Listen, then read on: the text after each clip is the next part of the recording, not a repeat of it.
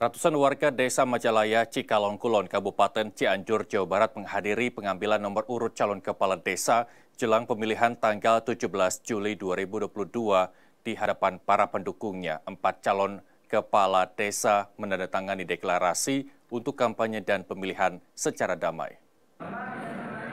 Para calon kepala desa Majalaya, Cikalong Kulon, Cianjur, Jawa Barat bersama pendukungnya ini mendatangi kantor desa untuk mengambil nomor urut calon dan melakukan deklarasi damai untuk kampanye calon kepala desa yang akan dilakukan pada bulan Juli mendatang. Menurut pihak panitia pemilihan kepala desa, keempat calon kepala desa ini sudah memenuhi persyaratan, sementara satu orang calon lainnya ditolak lantaran tidak memenuhi syarat. Salah seorang calon kepala desa mengatakan dirinya ingin membangun desa lebih baik dari sebelumnya dan akan mengabdi kepada masyarakat apabila terpilih nanti.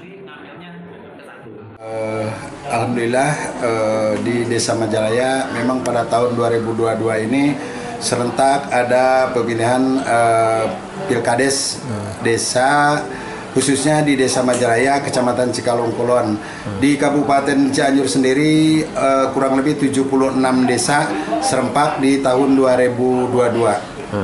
Tapi untuk di Desa Majalaya, alhamdulillah saya uh, mencalonkan diri untuk uh, ikut dalam pesta demokrasi di Desa Majalaya. Uh, alhamdulillah saya mendapatkan nomor urut satu. Harapan ke depannya mudah-mudahan Desa Majalaya lebih maju, lebih sukses, dan uh, lebih meningkatkan ekonomi masyarakat Desa Majalaya.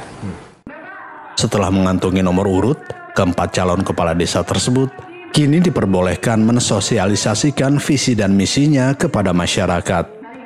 Dari Kabupaten Cianjur, Jawa Barat, jurnalis Nusantara TV Muhammad Viginian melaporkan.